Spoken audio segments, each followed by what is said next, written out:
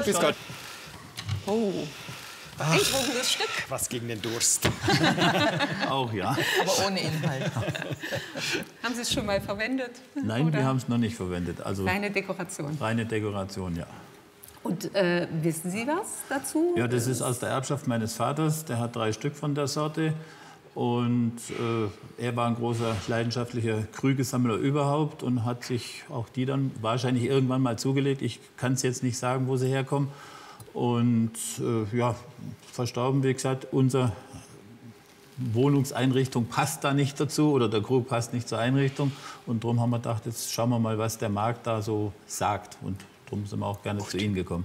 Ja. Haben Sie sich schon mal beschäftigt damit, was es sein könnte?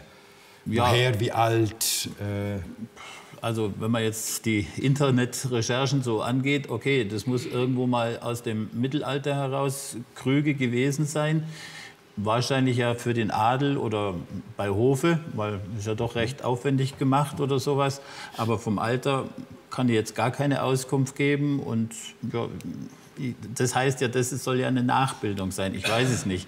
heißt es. Heißt so. es, ja. Gut, dann schauen wir uns doch mal genauer an. Aber die Darstellung, die werden Sie kennen, oder was abgebildet Ja, das sind ist? die Apostel. Die zwölf Apostel, genau. Deswegen nennt man diesen Typ auch Apostelkrüge. Es ist sehr, ähm, sehr bekannter Typ, kommt aus Kreuzen. Kreuzener Steinzeug, das ist äh, in der Nähe von Nürnberg. Bayreuth, äh, Nürnberg, Franken, Bayreuth, ja. in der Franken gelegen, genau. Und zwar hat Kreuzen vom 15. bis ins 18. Jahrhundert äh, gibt es dort Töpfereien, die Steinzeug machen. Am Anfang eher hellscherbig, also weiß, gelb. Und dann beginnen sie schon im frühen äh, 16. Jahrhundert eben mit dunklem, mit rotem, das ist eisenhaltige Erde, deswegen mit rotem Steinzeug. Und ebenfalls schon so von den 15, war 20er, 30er Jahre an beginnen sie die farbig zu machen und zwar nicht nur mit Ölfarbe bunt anzumalen, sondern mit Email einzubrennen. Das ist meine Frage und das ist wirklich gewesen, was ja. ganz Besonderes. Denn der Vorzug der Keramik gegenüber Goldschmiedearbeiten bei solchen aufwendigen Sachen ist ja eben, dass man es bunt haben kann und Farben haben kann.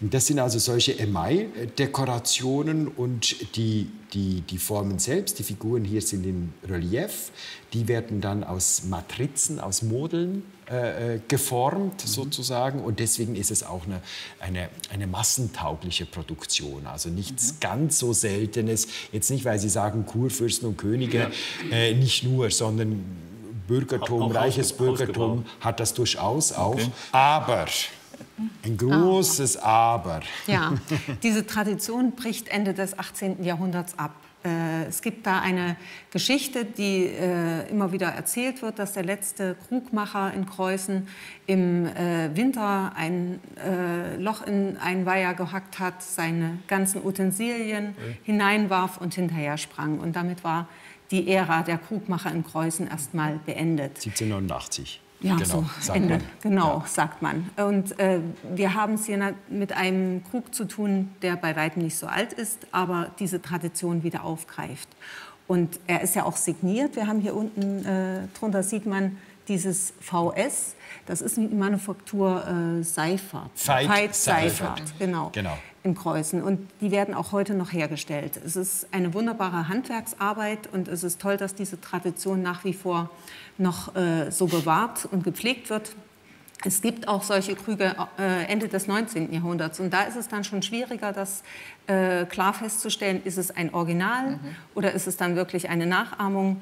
Bei diesen Seifertschen Krügen ist es eindeutig, denn das ist wirklich äh, die Handwerkskunst, die hier heutzutage angewandt wird. Seit den noch zu 1970er erwerben. Jahren, als ob das jetzt 1975 oder 1998 ist, kann Mhm. ich jetzt hier nicht sagen. Das könnte ich auch nicht Auch sagen. Also wahrscheinlich Aber- könnte man zur Not äh, dort selber noch Ja, seit nachfragen. denn- 1980 ungefähr hat der Schwiegervater die Ja. Hat die gehabt. eben, Ja. genau.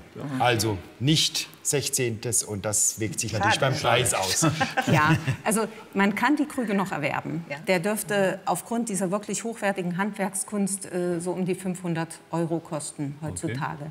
Im Auktionshandel sind sie mitunter günstiger, wie das häufig so ist. Äh, aber selbst wenn er jetzt nicht in ihre Einrichtung so richtig reinpasst, ja. manchmal schaut man sich auch schön, wenn man sich damit ein bisschen beschäftigt. Also okay. handwerklich ist es ein sehr, ein sehr schönes Stück. Ja. ja. und wirklich das dann lieber zelebrieren und mhm. in Ehren okay, stehen lassen. Schön. Ja, ne? ja. vielen herzlichen Dank. Dank. Dankeschön. Dankeschön. Wiedersehen.